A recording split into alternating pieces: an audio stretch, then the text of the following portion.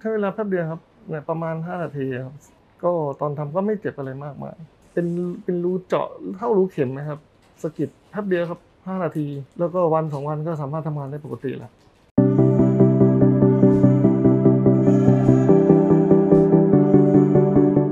ผมต้องขับเครนแล้วเวลาต้องใช้มือเกาะเกาะบันได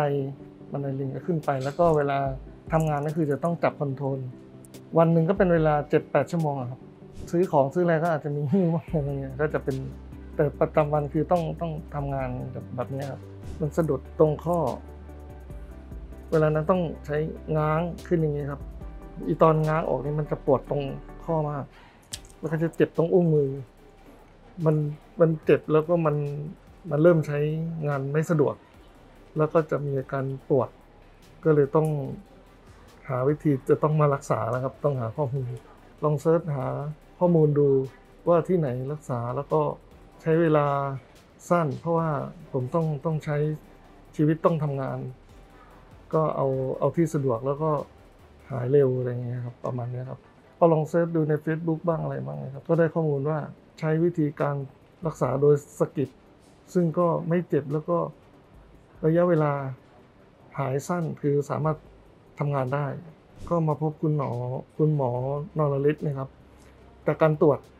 คุณหมอบอกว่าเป็นระยะที่สี่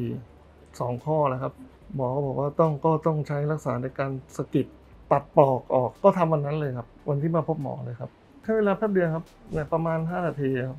ก็ตอนทำก็ไม่เจ็บอะไรมากมาย24 ชั่วโมง แรกก็อาจจะมีชาชาๆคือหมอต้องฉีดยาชา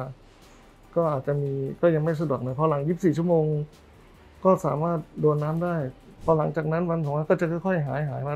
ซึ่งตอนนี้ก็ไม่ปวดไม่อะไรแล้วก็สามารถใช้ได้ปกติ ก็ประทับใจก็คือหนึ่งรวดเร็วสองใช้เวลาสั้น และสามเราสามารถกลับไปทำงานได้ปกติเลย ก็ถ้าเป็นก็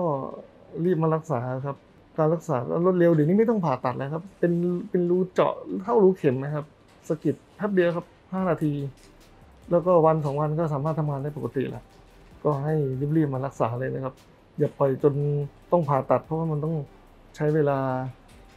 ในการหายมันก็อาจจะยาวขึ้น เหมือนเหมือนไม่เหมือนกันสะกิดแป๊บเดียวครับ วันสองวันก็ทำงานได้ปกติครับ Vegshani Victory for Life ถ้าไม่อยากพลาดสาระดี ๆ ของโรงพยาบาลเวชธานี อย่าลืมกดไลค์ กดแชร์ กด Subscribe ด้านล่าง และกดกระดิ่งพวกเราด้วยนะคะ